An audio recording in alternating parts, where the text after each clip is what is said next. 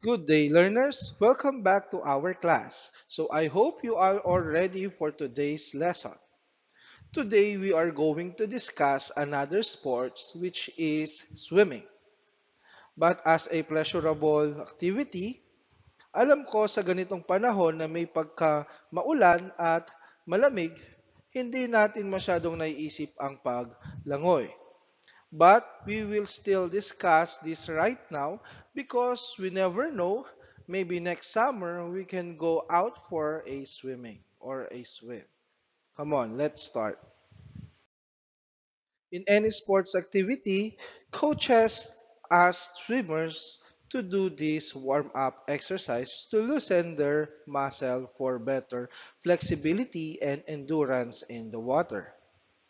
So, neck exercises, arms and chest exercises, trunk exercises, leg and feet exercises, jogging in place and breathing exercises. You can also do these exercises before doing any physical activity. Number one is swimming.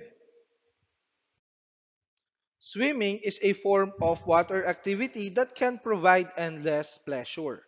So marami sa atin ang mahilig lumangoy o maglaro sa tubig. Swimming is both recreational and competitive activity.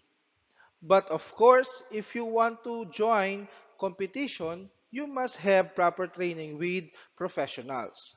So swimming is an art of propelling the body through the water, consisting of several motions by the use of the arms and the legs.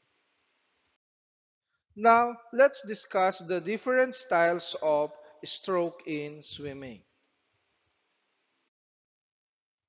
So the first one is freestyle or the crawl. This is the most commonly used stroke in swimming because it is easier to learn and it is also less tiring. So kadalasan, natututunan ito ng mga bata ng sila lang. So pwede itong subukang gawin kahit sa mababaw na tubig lamang. So, these are the simple steps to do freestyle. So, chest down in the water. Perform flutter kick. As the arm is brought forward, the head comes up to inhale at the same time. Face turned down to exhale through the nose or mouth. The second one is the backstroke, which, as the term implies, the swimmer floats with his or her back on the water. Here are the simple steps to do the backstroke. So one arm over the head out of the water while the other is in the water. Arms movement is done alternately to complete the forward pulling motion. So arm movement is synchronized with leg movements to move the body forward through the water. The next one is the breaststroke. This style is efficient for covering long distances. So here how to do it. Float on chest. Both arms push forward from under the chest to pull extension at the surface of the water. Both legs are drawn up with the knee bent and spread outward. Then head is held above the water. The fourth one is called the side stroke.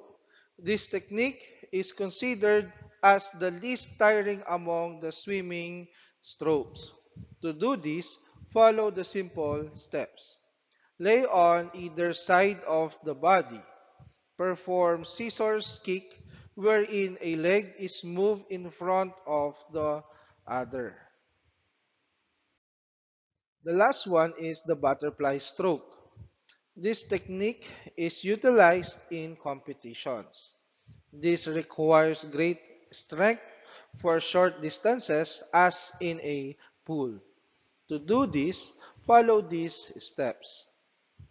Legs move using dolphin kick, which is a variation of the frog kick. Arms are moved forward over the water simultaneously with the legs. Practice swimming with the presence of responsible adults, especially if you are a beginner. So that's it for today. I hope you learn a lot. See you next time. Thank you and God bless.